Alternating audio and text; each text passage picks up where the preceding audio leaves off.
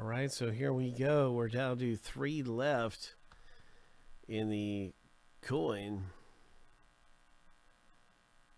Good luck winning the grand prize, but anyone who gets in will be getting a very nice coin.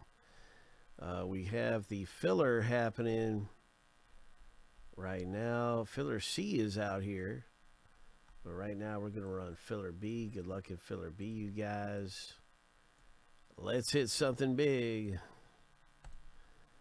This is our Memorial Day weekend coin battles going down. Hope.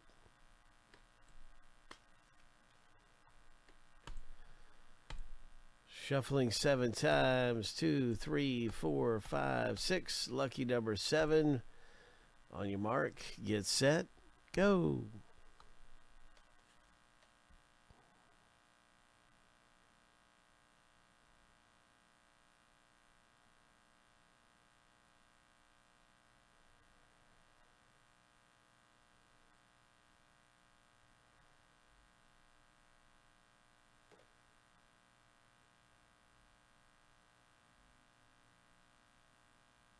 Three, two, one.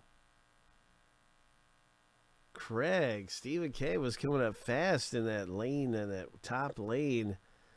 Oh, we need a replay. I thought Stephen K was going to get it. Craig, you did it. Congratulations, man. My goodness. Stephen K was coming up fast for that thing, and you scored it. So, congrats to you you have got yourself a spot, and that is essentially a coin, bare minimum, a coin in the break.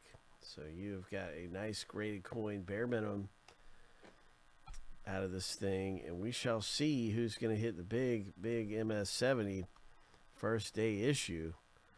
Uh, red foil. So that's going to be exciting because we're down really close in the break. And it's getting ready to happen.